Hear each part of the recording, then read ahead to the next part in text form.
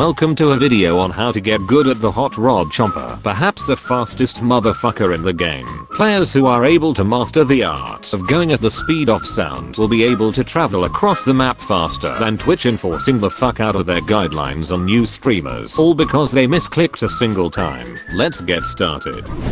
The Hot Rod Chomper is a variant of the Chomper class whose primary has the exact same base statistics as the stock variant in firing at 135 rounds per minute having unlimited uses and dealing 25 damage per jump with a range cap of 4.5 meters. Hot Rod Chomper has the lowest HP out of the entire Chomper class at only 125 health. However, he makes up for this lack of health with his incredibly fast movement speed traveling at 8.4 meters per second, making him along with Twilight the fastest characters in the game in terms of their base movement speed. However, if that's not fast enough for you, then boy does this motherfucker have you covered, as Hot Rod is the only character in the game to have two speed upgrades which if you choose to equip allows him to go even further beyond and just full on sprint everywhere. This allows Hot Rod to be extremely evasive and be able to reach places of desire extremely quickly and make great use out of flank routes that enemies may not be suspecting.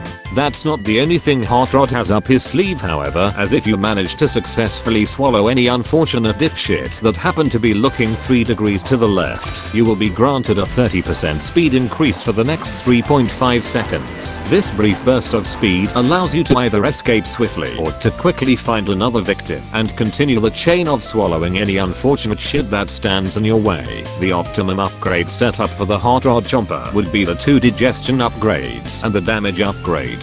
The digestion upgrades are especially essential as it allows you to quickly swallow your victim and gain the incredible burst of speed that can be used in multiple ways. The extra damage can also be useful for if you happen to face targets that cannot be swallowed such as the mechs or utility structures like turrets or teleporters. In terms of strengths, the Hot Rod Chomper's high movement speed can allow him to outrun every class in the game in terms of base movement speed and also means that they cannot run from him. The burst of speed he gets from swallowing an enemy can also be useful in a pinch, either to continue being aggressive or to sprint away safely.